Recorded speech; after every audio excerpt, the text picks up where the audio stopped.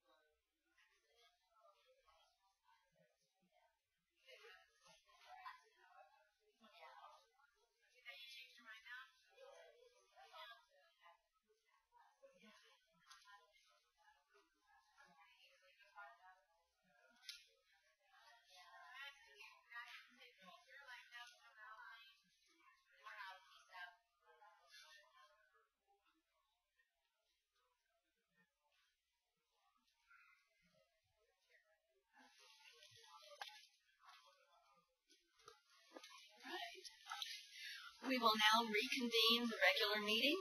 It is 6:35. Dr. Warren? All right, folks.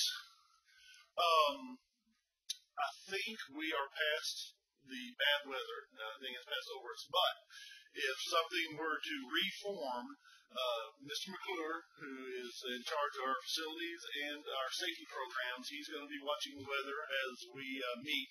And if we do need to go back into the hallway, he'll give us a, a little signal, and we'll all go there. Like I said, we, we think everything is past us now. Uh, if we move this along pretty quick, we'll be really good.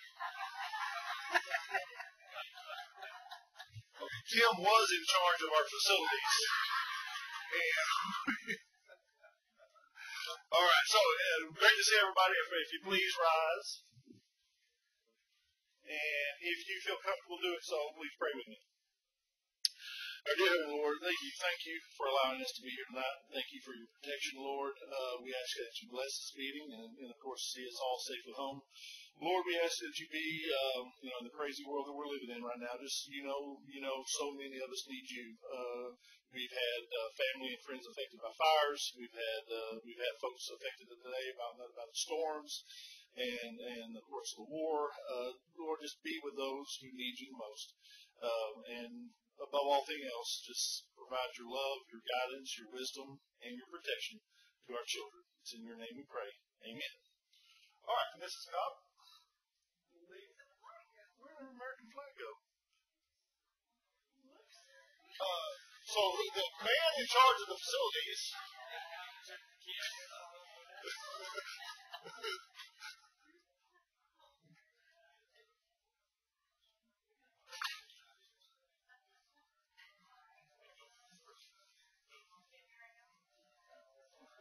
find the flag on the internet real quick? Look at it. All right, everybody look outside. Mrs. Cobb, go ahead. Pledge allegiance to the flag of the United States of America and to the republic for which it stands, one nation, under God, indivisible, with liberty and justice for all. Honor the flag.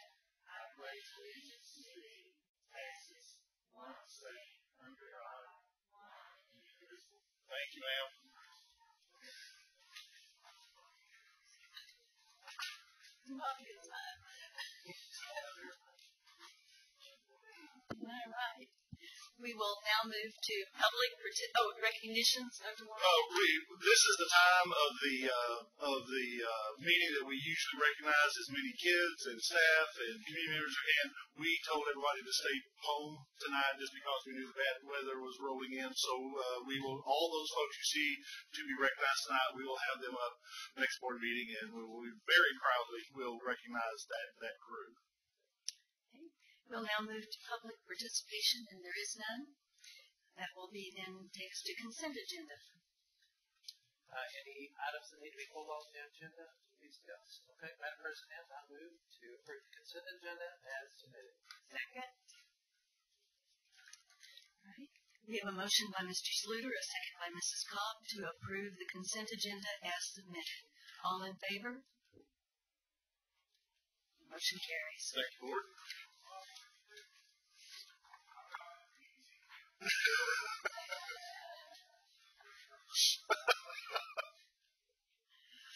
We'll now move to item eight, consider any items removed from the consent agenda, and there were none. That will take us to discussion action, and the first discussion action item is the naming of the principal for Worthington Middle School. Uh, board, uh, let me first say we appreciate all those who uh, applied for the principal of our new middle school number seven, Worthington Middle School. Had a great slate of individuals. I very proudly bring you the name Natalie Childress, current principal of Wilson Middle School, who will uh, who will we would like to open our brand new Worthington Middle School, and that would be set till for the fall of 2023. Madam President, Mrs. Cobb, I move to name Natalie Childress as principal of Worthington Middle School as recommended by the administration. second. We have a motion by Mrs. Cobb and a second by Dr. Roush to name Natalie Childress as principal of Worthington Middle School as recommended by administration. All in favor? Thank you, board. Motion carries. Item B, the 2022-2023 campus growth budget update. Well, board, uh, this is a little bit of an anomaly this year. You usually don't see this twice, but because of uh, our wonderful demographer and bringing us our new numbers this last board meeting, uh, we did need to. And, and I tell people all the time, I've been a superintendent in West Texas where we've had to cut programs because kids were leaving us. This is a much better challenge to have, to having more kids come to us than we even thought. So um, Kim Barker and uh, Jonathan Messusic will uh, come and bring you their report again, update you on the numbers, and then I'll tell you where we're going to go from there. And it is what's to be done after this. Thank you, Dr. Warren, Dr. Simpson, members of the board. Yes, this is um, a unique thing to come back again to with some additional growth units um, requests for you. Um, I think a phrase that I have coined over the past few weeks of what an exciting time it is to be in the fastest growing district in Texas. So it is exciting, it's a challenge, but I think we're ready to rise to that challenge. Know that um, the work in our department aligns with strate- strategic goal too. We take that very seriously. A couple of considerations as we bring this to you today. We did receive updated demographic um, information from Mr. Templeton um, that was different from the quarter three projections that we use typically to staff our schools. Um, as some of the phrases he used were the unprecedented growth and how we're not not meeting the models that he's seen in other districts as well. That we're growing exceptionally quick in a lot of different areas. So we want to be prepared for that. Um, so as you know, we'll have an additional, little over 500 additional students than we originally planned for. So once we got that information, we could see where those students were going to be placed. We've determined that we need 23 additional elementary teachers and three additional middle school teachers. So that's our total teachers at 26 for 1.7 million. Now, I want to make sure that you know we staffed aggressively. Um, we looked at those fast growth areas, and if there were campuses and sections that we knew were going to be three, four, five students away from adding an additional teacher, and we knew it was fast growth, we gave them that teacher. So we're going to start with more teachers. Um, our goal is to avoid what has happened this year where we've been adding all year. Our goal is to give that to them early. That way their students aren't having to split classes as much and things like that. We have the teachers we need. We felt, um, given the rapid growth, this was the best way to staff our campuses. In addition, we had several campuses that went over the 700 mark or the 750 mark where we add some additional support to those campuses, such as fine arts assistants, campus assistants, PE teachers. So we'll have a, um, a total for that as well of 342,000. So this is a breakdown of our full second growth budget for the year to prepare us for opening in August of 22 at $2,058,880. And I'm happy to answer any questions that you may have. Now let's let's get Jonathan up, and before we, we before we have any questions in total, let's make sure because we wanted to also update you because not only did our need grow because of the uh, demographic data, but our financial structure picture also changed because of that report. So, Jonathan, would you take us through that, please? I will momentarily.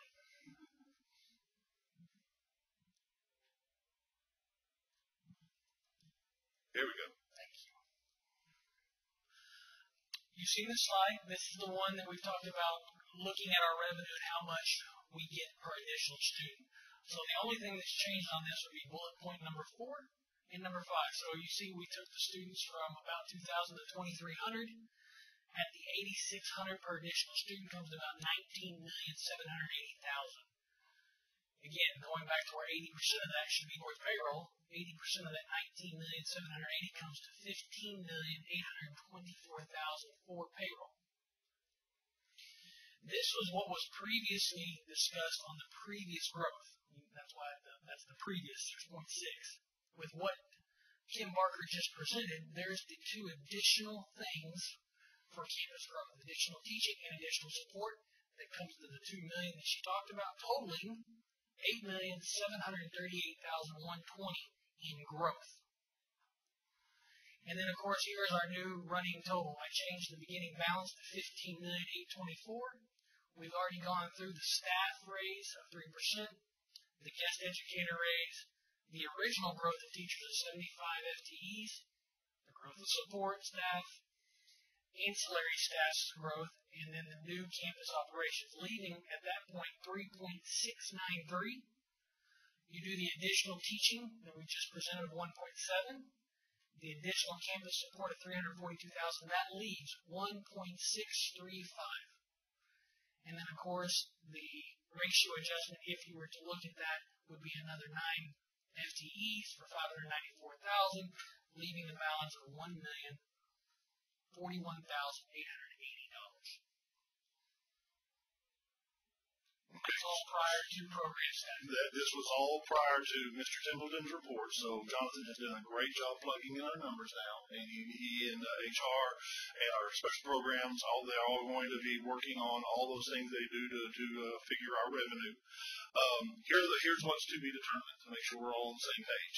Number one is we do not, if you remember last board meeting, we don't have an agreed to class size ratio yet. We had the we had one decision uh, keeping the uh, class size ratio uh, the same as this year. We had a decision last time uh, wanting us to keep continue to look at it, so that kind of went away now. So we still need to bring to you recommendations, and your decision needs to be made about truly what the class size ratio is going to do. So that's number one. Uh, we do need we do need to approve ask you to approve the, new growth budget, the campus growth budget, just because our principals are in the process of hiring right now and, and having those extra teachers in place is very, very uh, important. And I, I talked with uh, one of our elementary t- uh, principals today. It is very competitive out there. She interviewed almost 10 candidates today and, and about probably about 10 of her peers interviewed the same people today. And they're, you know, not, we're not even just fighting with other districts, we're fighting among ourselves to try and, and they're, they're doing a great job. We're trying to get the very best teachers. So we, we need to stay on schedule with this decision. But number one is, uh, I need to bring you back the class size ratio for you to finally vote on and see what we're going to do. We also need to show you the program growth budget of everything that we're needing at the district level because of the growth and where we are right now and what is needed. And then number three, as we discussed, uh, Mr. McClure's and to continue to working with his facilities group to show you, you know, kind of what we will need to do to spread out a little bit more than we had this, uh, and then that means portable classrooms, just because having a thousand more kids coming to the district than we had planned on. You know, we had 20 years of data that uh, contradicted that, but now that we have the new numbers, uh, you need to know that cost as well. So absorb all that and give me any questions that you have.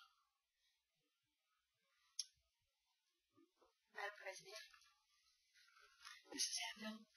I make a motion to approve the 2022-2023 campus growth budget update as recommended by administration.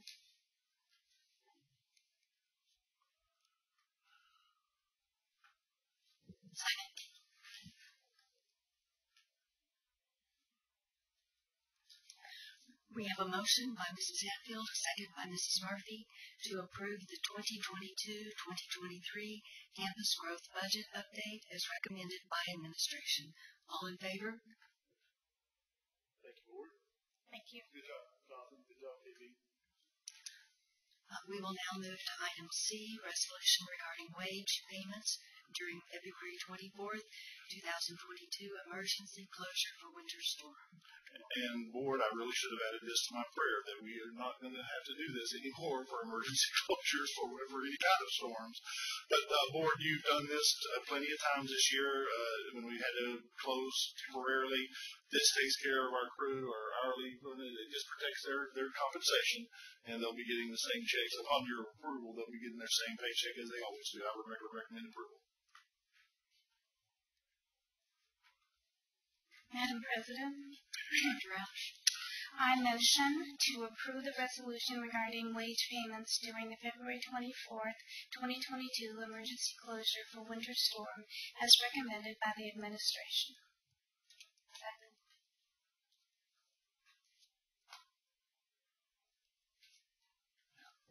We have a motion by Dr. Roush and a second by Mrs. Hatfield to approve the resolution regarding wage payments during the February 24th, 2022 emergency closure for winter storm as recommended by administration. All in favor? Thank you, board.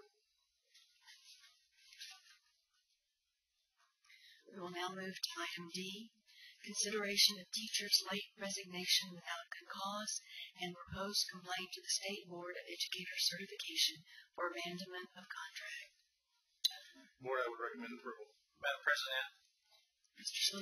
I move that the board find that good cause did not exist for Matthew Purple to resign and abandon his contract for the 2021-2022 school year, that the board authorize the superintendent or its designee to file a complaint with the State Board of Educators certification to seek sanctions for his abandonment of contract.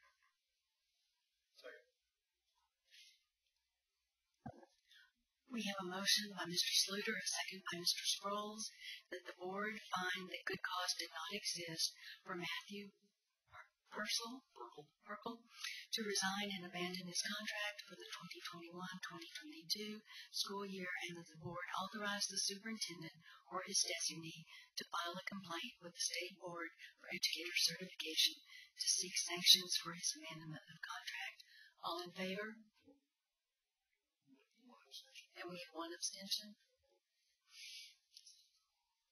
We will now move to item E, consideration of teacher's late resignation without good cause and proposed complaint to the State Board of Educator Certification for abandonment of contract.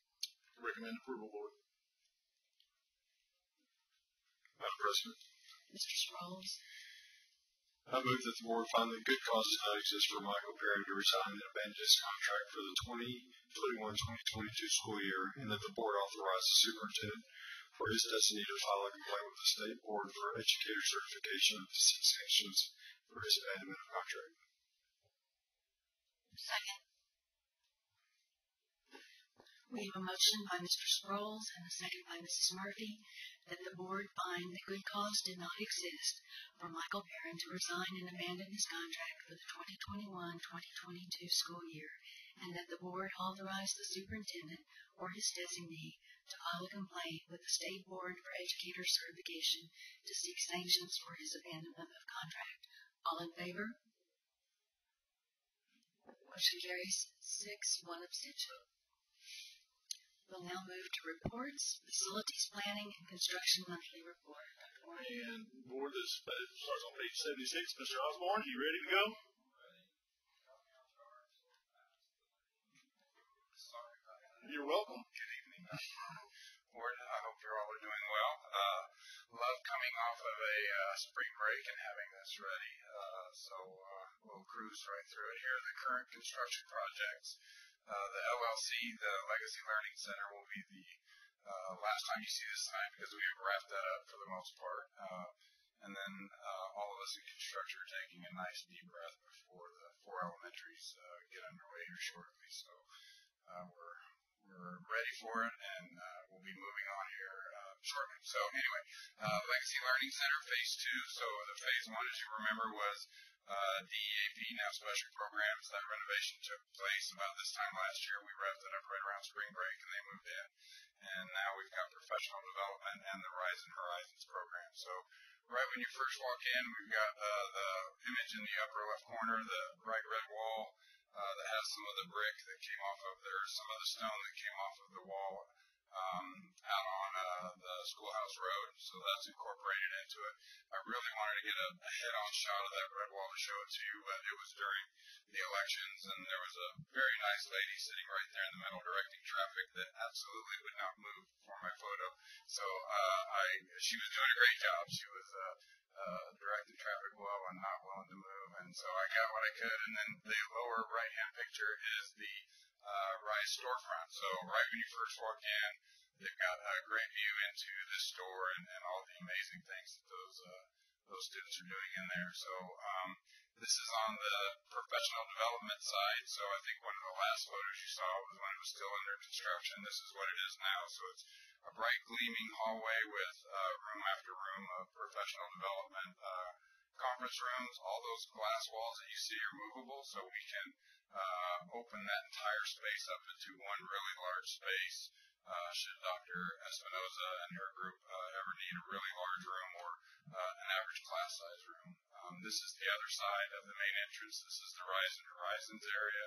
So uh, the upper left picture showing you what it was before and now what a really incredible space it is for these students uh, right now. So here's a picture of their mock kitchen, uh, which actually functions as a kitchen. It's really uh, for more instructional, and then some of their uh, more casual um, uh, residential areas that they work on. And so uh, even one of the mock little apartment rooms where they work on just what it's like to have to make your bed on a daily basis and, and take care of a small apartment. And then I just wanted to show you the picture that the, the staff uh, wrote to those students that's on their marker board. I just I was very inspired by their positivity and wanted to share that with you as well. So this is our uh, C.W. Worthington Middle School. This one is still really hard at ground level to get images uh, that you can understand. So what I thought I would do is give you a side by side of the um, the drawings that we're working off of compared to the aerial photo that our contractor took. So these are uh, about at the same scale. Uh, so you've really got a good idea of what we've done so far here. So we've got, I would say, 90% of all the paving uh, poured. The road that's um, that comes down on the, the right-hand side of the site and then starts to turn along the railroad tracks. We've actually made that turn and have come back up that road towards the school. So the majority of the parking and paving is there. There's just one uh, large parking lot on the right-hand or the left-hand side of that site that you see is still dirt. Uh, that that'll get poured here in the next, I would say, probably within the next month. Uh, we poured uh, three slabs in the classroom wing area, so uh, although a lot of that infrastructure and that dirt work take months and months, you really don't see anything.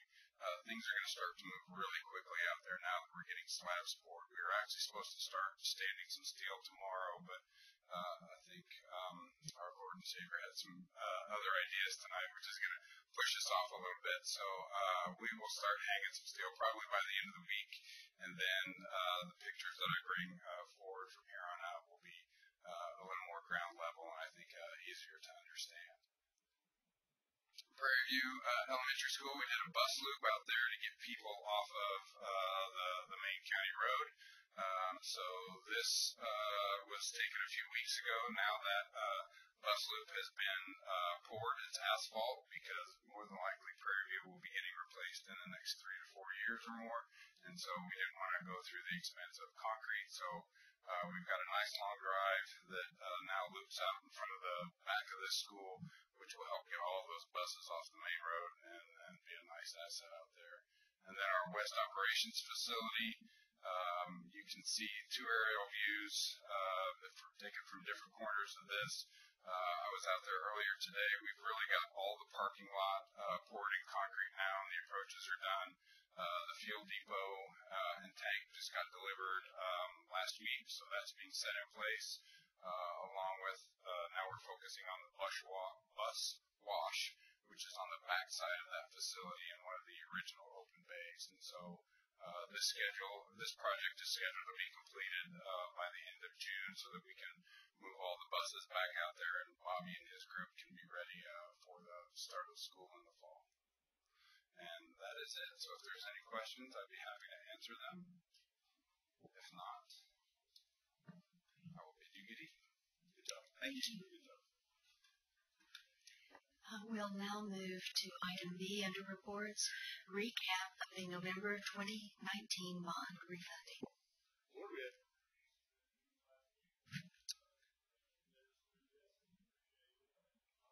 Yes, sir. Uh, I do have some good news. Um, on February 14th, we did a parameter order um, to approve a refunding opportunity. Um, on March 8th, we priced that and sold those. Um, there's the summary sheet up there. The refund resulted in twenty-six million ninety-four thousand and one hundred eighty-four dollars in debt savings, which is about twelve thousand dollars in present value, or a percentage of eight point seven six two. Um, if you remember correctly, we brought this to you, we wanted to make sure we saved at least seven percent. Of course, we got eight point seven six two. We also brought a full um, resale of two hundred eighty-nine million, but we only sold one hundred forty-one million the market at the time, the other bonds were not to be as profitable to make that savings, so we actually did not sell the other 148 million. Um, with that being said, though, we can still take that if the market changes, and we can do that. We still, I think, have a year on that parameter, so it's still going to be out there looking. If something comes up, we will continue to do it. On the far right, you can see that is the actual by year the amount of savings. And at the bottom adds up to the $26 million in savings for our taxpayers on the I&S side.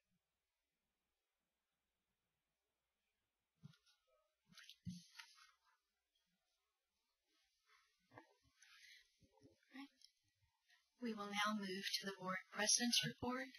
Uh, update on the superintendent's search. Uh, we completed the second round of interviews prior to spring break. We met earlier this afternoon to discuss recommendations for a lone finalist.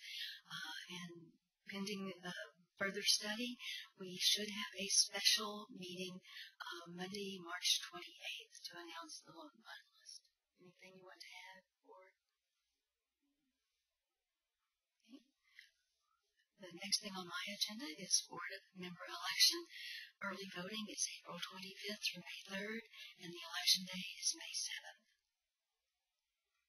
Dr. Warren? Board, just three things from me. Uh, please remember this coming Thursday, March 24th, we have Berkshire dedication, so please be there. And we will, I think uh, Dr. Simpson has assigned Mrs. Scott to do the speaking on behalf. we have the Berkshire dedication will start at six o'clock, so that'll be a great uh, that'll be a great uh, time to uh, officially dedicate Berkshire. This coming Saturday, the 26th, we have our annual Death Gala. Uh, it'll be out at the uh, at the ranch uh, again this year. Uh, uh, that's uh, it's always been a really good facility to be able to do that. That'll start at uh, the VIP reception starts at five, and the actual gala starts at five thirty, and uh, we will be up there to support Meth. And then uh, really great time of year. It's time time to get ready for Inspire celebration. We will uh, we will uh, make sure that all of our retirees know how much we love them. We will we will have all of our teachers of the year and uh, all those those other fabulous we celebrate. That is on Thursday, April the seventh. It'll be at six p.m. and that'll be at Northwest High School. And so we're very nice. Madam President, that's all I have. Motion. Second. Oh, goodness, again. I always wondered what was in here.